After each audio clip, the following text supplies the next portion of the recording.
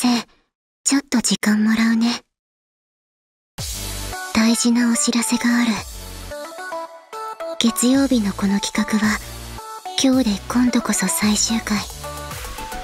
半年間、先生とたくさん話せて楽しかった。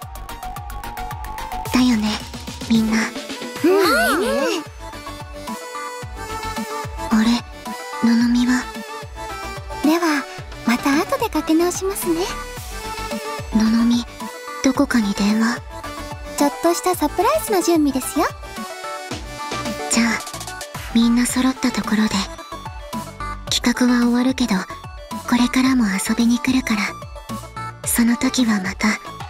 よろしく